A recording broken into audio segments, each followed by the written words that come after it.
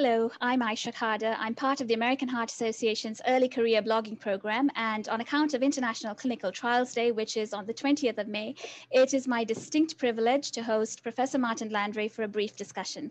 He is a professor of medicine and epidemiology at the Nuffield Department of Population Health and deputy director at the Big Data Institute at the University of Oxford. More importantly, he is co-chief investigator of the recovery trial, which we very well know is the world's largest COVID-19 drug trial. Welcome, Professor Landray, and thank you for your time today. It's a complete pleasure. So we've heard, well, almost legendary anecdotes about how rapidly the recovery trial was set up. And interestingly, that much of the inspiration was drawn from trials, randomized control trials within cardiology. Could you tell us a bit about the evolution of recovery, why we need this kind of large RCTs during the pandemic, and particularly how you managed to set it up and running so quickly? Yes, I mean, it was born out of need and an, and an observation. This is a new disease. Um, the mortality for patients admitted to hospital is about one in four. One in four patients who get into a hospital don't come out of it alive. Um, and there are uh, no known treatments, or there were no known treatments. And it also struck us that it was unlikely there was going to be a single big cure. If there had been a single big cure, it would have been found by the time the pandemic hit the UK in, in March 2020 um, having you know, uh, really torn its way through both uh, China and, and, northern Italy uh, and one or two other places. But it seemed that if we wanted to find treatments that work and differentiate them, those that have a lot of expectation but turn out not to work, we needed randomization and we needed large numbers. And it reminded me of the first trial report I ever read when I was a medical student, which was the ISIS 2 uh, trial uh, report. And the beauty and the simplicity of that, that uh, with a one page case report form with clear outcomes, more focus on mortality, um, uh, and um, in fact, in that case, with a factorial design, which we did come back to later, um, that one could get really compelling answers fast. And that's what we needed to do. But more importantly than that, or, or as importantly as that, was actually the trial has to be practical in a pandemic, it's actually true in the rest of our medical lives, but in a pandemic particularly, patient, uh, patients are um, anxious, sick, alone in a pandemic, and the doctors are overloaded. Um, they have very little time. They're emotionally overburdened. Um, so any work that you expect people to do that's above and beyond the, the minimum that uh, sort of standard of care that they have to do uh, has to be really justified. And on the front of the protocol for the ISIS 2 trial, which I had on my desk as I was writing the recovery protocol, there is a, uh, a paragraph which we should all read, which said something like uh, the success of the trial depends on the extent to which everyday uh, uh doctors and nurses choose to enter their patients into the clinical trial. Hence, the work must be and is uh, absolutely uh, minimal. And that was the motive. We had to make this simple and practical. Um, but we also had to make it robust. We had to make sure that when we got answers, the world would believe them. Um, and I think if you look at the results of hydroxychloroquine, you look at the results of dexamethasone, that was achieved. Speed, you asked about speed. Well, um, uh, the one thing about pandemics are their speed. Um, uh, pandemics are like normal uh, clinical trials, normal life, if you like, but substantially higher profile. They're in every page of the newspaper and every bit of news coverage and with a dramatically reduced timeline. So we went from protocol to um, first patient in nine days. We went to 10,000 patients in eight weeks. Uh, by 100 days, we had 12,000 patients in the first three results. Um, and it scaled on from then uh, over this past winter, where sadly we've had a huge upsurge in, in cases over, this, over the winter in the UK, um, where we went on to study many other drugs. But it really was the success was focus on what matters, make sure it's randomized, uh, make sure you have complete follow-up of information. We use routine data from record systems and make sure it's practical and accessible to doctors and patients. Absolutely. Thank you for that. I think the numbers speak for themselves. Recovery has really been truly impressive, recruiting almost 40,000 patients, as you said, uh, in the middle of a pandemic where staff are already overstretched. Uh, how else was this trial streamlined in such a way that there was minimal burden to those staff that were directly involved in clinical care? Yeah, so we, we used an open label design, so there wasn't a placebo. Um, uh, that's practical and is also um, perf provides perfectly robust information in the context of randomization um, where you're focusing on really clear uh, outcomes. You know, our primary outcomes mortality, and it's mortality that is by and large captured through national death certificates. I mean, it's essentially, it's pretty much, if you like, the legal definition of uh, of death. So we were going to get, and we did get complete coverage. Um, so uh, the uh, randomization system uh, required only about 10 um, uh, fields to be filled in, so a very short, equivalent of a one-page case report form.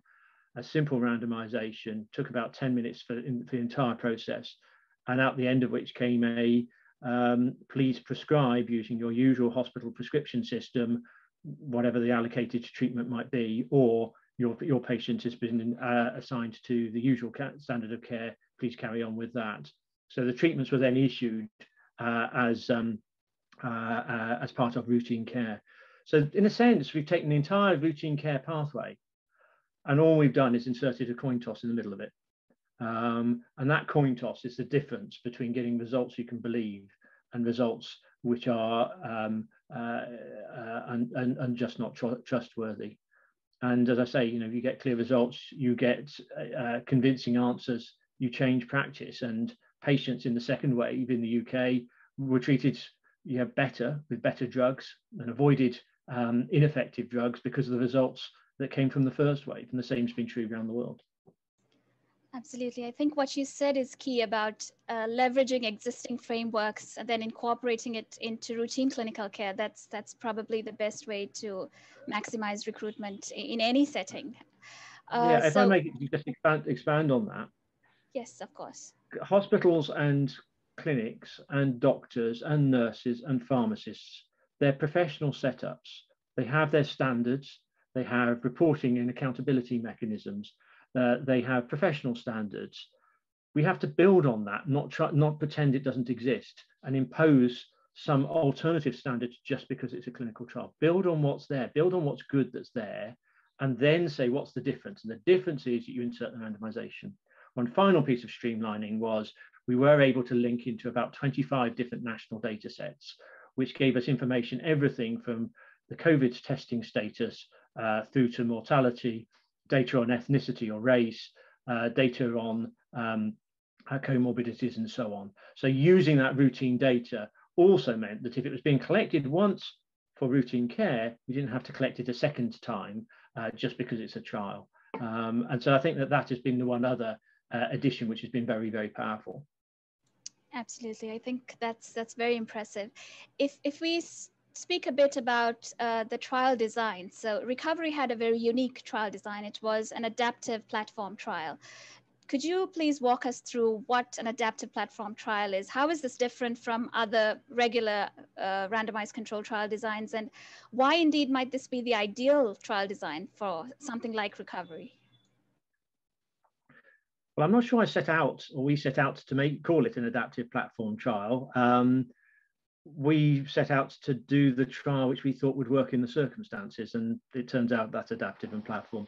So platform because uh, there's one single protocol. It's been modified a number of times since as drugs have come and gone. Um, uh, and that um, there are multiple treatments that patients could get. And before any randomization is done, before any coin is tossed, the doctors can say, I would be happy for this patient to either get or not get, let's say, dexamethasone and hydroxychloroquine, but let's say I would, they, I can see a contraindication to lopinavir or something. You make those distinctions up front before randomization, so there's, you, there's no bias. Then the coin is tossed and patients are allocated uh, to one of those treatments or to controls. And then you compare uh, patients with um, like for like so that if the coin had come down head, it would be dexamethasone. If it came down tails, it would be it would be controls. That's the comparisons you do. and adaptive because over time, um, uh, we have answered some questions. Um, and in fact, all the original drugs, the original four drugs we had uh, in the trial, we answered those during um, uh, 2020. And we've been able to add in additional drugs. And one of the things we've done over, the, over time is actually to add in factorial elements. So just like that ISIS-2 trial, which was, if you remember, aspirin versus not and streptokinase versus not, we have, for example, uh, had a, a, time when we had um, azithromycin versus not, but we also had aspirin versus not, and we also had colchicine versus not. So patients could get three drugs or no drugs or some combination in between. But because it's a factorial design, back to the classic principles of the 1980s, nothing new, you're able to provide uh, robust and unbiased estimates of the effects or separate effects of aspirin versus not, uh, uh, dexamethasone or azithromycin versus not, and so on and so forth. So that factorial element has been also, I think, extremely powerful, particularly during this last uh, this last wave. I mean, if you think that you know we managed to answer both the aspirin and the colchicine questions within about three months um, simultaneously over the course of this past winter. That's that's actually very very impressive to even listen to. So, to what extent would you say that that recovery has changed the clinical trials landscape and and the way in which we might be doing clinical trials in the future? I think over the last 20 or 30 years, we have made clinical trials uh, elitist. You have to have special qualifications, work for special organizations, have a title like professor or research fellow or uh, work for a clinical research organization or whatever. But the reality is that the real um, uncertainties about how to treat or not treat patients occur at the bedside. I mean, in the case of recovery, literally at the bedside. In the cases of much of outpatient care, it's when, the, when patients come to your office um, or when they're seen in the community. But it's at that interaction that the uncertainty is. And you insert the randomization there. And so what we're doing is bringing the clinical trials back into the real world, not real world evidence, not non-randomized biased evidence. Put, put the toss of a coin into the real world with real patients, with real doctors, in real hospitals, in real time. And that I think has been the major transformation. And that I think you know, really has to be here to stay. And if we can do that, and we can do that in partnership with day-to-day clinicians and, and patients, there's a, a, very bright future. If I give you some figures on that, in recovery, 40,000 patients have been recruited uh, in every hospital in the country. 4,000 doctors and nurses have contributed one way or another to part of that effort. And uh, that's about one in 10 of all patients who've been admitted to hospital this last year with COVID are in the trial. So it really is collaborative and participatory and transparent because everything about the trial from the IRB submissions and the regulatory submissions, the DM, data monitoring committee letters, the results, study recruitment, patient information, training leaflets, everything is open on the public, publicly accessible website. So we've made it a trial that is for all of us. Um, and that, that I think, again, has been part of, you know, tri clinical trials are not some um, odd uh, rarity, um, some special case that happens in a different world. Put the randomization back into clinical care, get robust answers, learn fast, get relevant answers, and then act on the information. Look at convalescent plasma, you know, used very, very widely by hundreds of thousands of people on a hypothesis, an untested hypothesis, an untested promise, which when you do the randomized trials, at least in the hospital setting, as we've done, you can find no meaningful clinical benefit. Doesn't mean there's no benefit at all, but certainly no meaningful clinical benefit. Do the trial first, get the right answer, then act. Don't mix up that order. Randomization is key. Absolutely. And I think this is really, it just goes to show what a gold standard a randomized control trial is when, when we need to find answers to where there really is clinical equipoise. So I think what you said about collaborative, that sort of segs, is a good segue into my next question. Professor Landray, you lead uh, the Good Clinical Trials Collaborative, which was launched last June and is supported by the Wellcome Trust, Gates Foundation, and the African Academy of Sciences. So, what is the objective of this Good Clinical Trials Collaborative, and what does this mean for the future of clinical trials guidelines and regulations? You spoke a bit uh, about how it should be for everyone. Perhaps you could expand on this. Yes, the this comes back to this area where we have made trials too hard. Um, there is this imagination that trials are risky. I would argue very strongly that giving a lot of people hydroxychloroquine when you don't know it works is risky not saying that you shouldn't give people dexamethasone because there isn't the randomized evidence, saying you won't give people dexamethasone and possibly even shouldn't trial it. That's risky. Giving people convalescent plasma when you don't know it works, that's risky. So we need randomized evidence. So that's the first thing.